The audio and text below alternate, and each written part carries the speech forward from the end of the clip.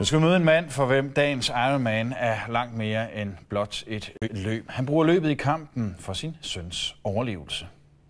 De kvindelige svømmere er i fuld gang. Og ude blandt bølgerne kæmper kanadiske Lisa Bentley mod det kolde vand. Men hun er ikke kun med for det sportslige.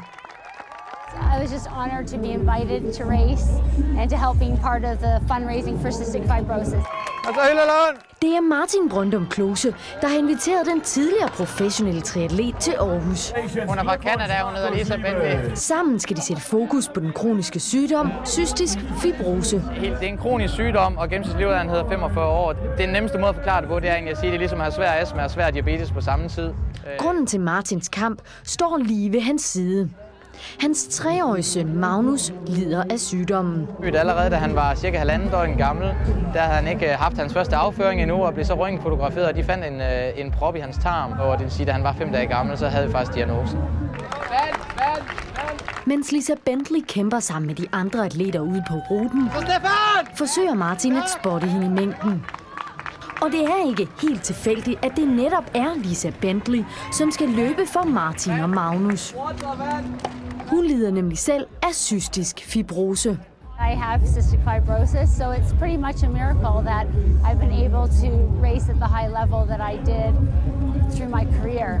For mig er hun jo en fantastisk person, og hun er øh, mit store idol, for at sige det. Hun er, hun er ligesom håbet for os. Efter godt 5 timer løber kanadieren over målstregen i 9. bedste tid. Med i projektet er også andre atleter, og hver gang en af dem yder til en topplacering, spytter sponsorer penge i projektet. Der skal bruges penge til forskning, der skal bruges penge til at, at hjælpe nogle af dem, som øh, måske ikke er så privilegerede, som min hustru og jeg er.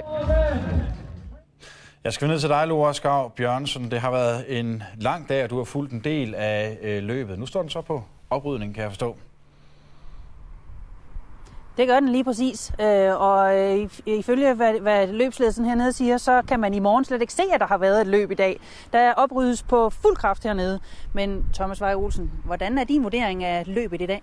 Jamen, det har været en fantastisk dag i Aarhus. Øh, Aarhusianerne har virkelig taget imod eventen, og der var tusindvis af tilskuere i gaderne. Så både deltagerne og, og forhåbentlig også byen har haft en rigtig god oplevelse. Jeg læste inde på Twitter, at der var nogle af deltagerne, der virkelig roste alle de frivillige, der har hjulpet i dag. Hvad er din fornemmelse af, hvordan det er gået med det?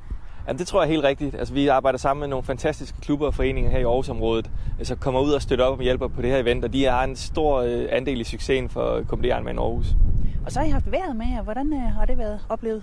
Jamen det har jo været dejligt at have afviklet i skyfri himmel. Det er første gang, vi prøver det, og, og ja, det giver bare noget ekstra. Det er også det, der gør, at der kommer tilskuere ud og, og ser eventen og er med til at bakke op omkring de her store præstationer. Nu er det første gang, at den sådan rigtige Ironman er i Aarhus. Bliver det en tradition? Det bliver en tradition, ja. Vi kommer frygteligt tilbage til næste år. Tak skal du have.